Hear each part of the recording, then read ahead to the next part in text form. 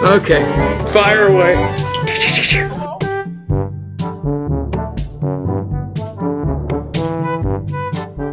Sometimes we draw people. Sometimes we draw buildings. Sometimes we draw fish. Sometimes we draw birds.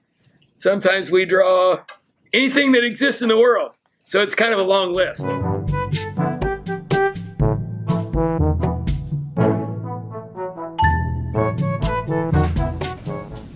Well, when I was a kid, I wanted to be a vet. And then I met my high school art teacher. And he looked like he was having so much fun. I wanted to be an art teacher.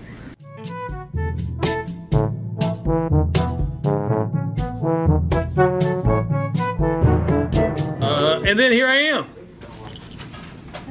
24 years. And I'm still not in the insane asylum. Have you done any projects yet?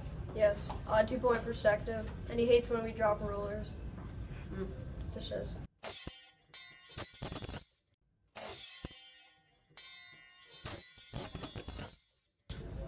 That's an example. Oh, that was easy. All right.